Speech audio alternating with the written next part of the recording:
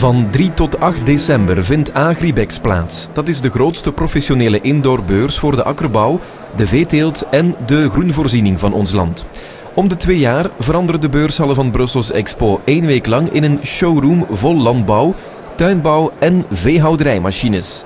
We zijn een federatie van landbouwmachinemensen. Fedagrim. Uh, het initiatief gaat uit van die mensen, dus van de bedrijven die actief zijn in de landbouwmachinesector, met inbegrip van de veehouderij en de tuin.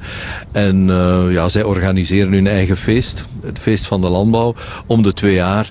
En uh, de sector, dat we zeggen, die 143 bedrijven die lid zijn van Fedagrim, die stellen ons gewoon elke twee jaar voor de uitdaging, maken er iets moois van.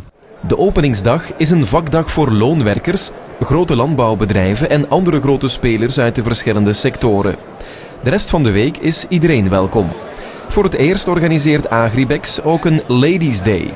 5 december staat dan volledig in het teken van de vrouwen in de landbouw. Wij vonden dat de vrouw ook aandacht mocht krijgen in uh, deze mannelijke wereld. En wij zien ook dat meer en meer vrouwen uh, wensen met hun handen werken of allee, handenwerken neemt dat positief op natuurlijk.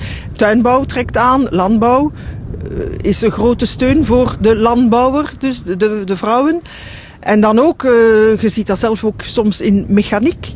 Dat is niet alleen maar exclusief nog voor de jongens of de mannen. De vrouwen kunnen daar ook een belangrijke rol in spelen. En wij noemen dat de verwendag van de ladies achter de schermen in de land- en tuinbouw.